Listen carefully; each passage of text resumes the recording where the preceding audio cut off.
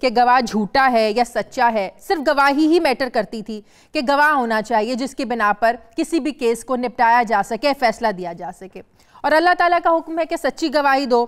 اب گواہوں کے جو نام ہیں آپ بہتر طور پر بتا سکتے ہیں، جو طریقہ کار ہے، مدعی لکھواتا ہے کہ کون چشمدید گواہ ہے، کون اس کیس میں گواہ ہوگا۔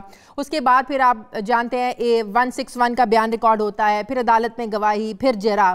سوال میرا آپ سے یہ ہے کہ کیا ٹرائل کورٹ جو ہے کسی بندے کو اس بنیاد پر واپس بھیج سکتی ہے کہ تم جھوٹے گواہ ہو، تمہاری گواہی نہیں چل سکتی، آپ سچے ہیں، جھوٹے ہیں؟ کیا ٹرائل کورٹ ایسا کر سکتی ہے؟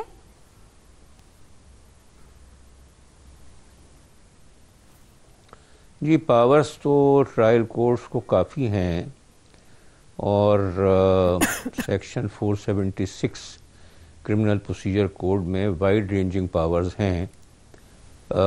لیکن انفارچونیٹلی معاملہ جو ہے وہ تھانے سے شروع ہوتا ہے۔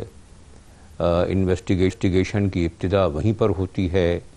اور جیسا کہ آپ نے بتایا کہ وہاں پر جھوٹے سچے گواہ جو ہیں ان کا ایک مرقع بنایا جاتا ہے اور پھر چالان کورٹ میں سبمٹ کیا جاتا ہے۔ تو عدالت کے لیے کوئی چہرہ دیکھ کر کے تو عدالت کے لیے ممکن نہیں ہے۔ کہ وہ یہ کہے کہ گواہ سچا ہے یا جھوٹا ہے لیکن اگر تو ایویڈنس کے درمیان میں اس بات کا احساس ہو کہ وہ کانٹرڈکٹری سٹیٹمنٹس کر رہا ہے یا اس کے سٹیٹمنٹس جو ہیں وہ ایمبیگوس ہیں، تو عدالت اس طرح کے معاملات کا نوٹس لے سکتی ہے۔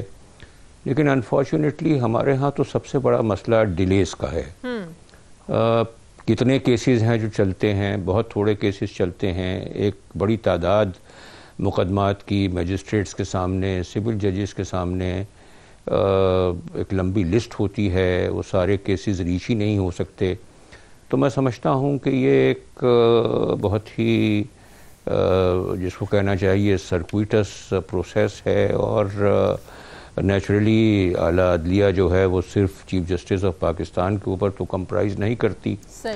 سپریم کورٹ کے اور بھی سولہ ججز ہیں ہائی کورٹس میں سو ڈیڑھ سو سے زیادہ ججز ہائی کورٹس میں بیٹھے ہوئے ہیں۔ ساروں کی ایفرٹ ہونی چاہیے جیسے کہ آپ کو پتہ ہے ایک جوڈیشل کمیشن بھی ہے جس کو کہ چیف جسٹس سپریم کورٹ کے ہیڈ کرتے ہیں۔ ہائی کورٹ کے چیف جسٹسز اور دیگر سپریم کورٹ کے کچھ ججز بھی وہاں ہوتے ہیں۔ تو یہ ایک ساروں کی مشترکہ ایفرٹ ہے اور ایک بہت اچھی بات ہے کہ آصف سعید کھوسا صاحب نے اپنے ابتدائی دور میں ہی اس معاملے کی نشاندہی کی ہے۔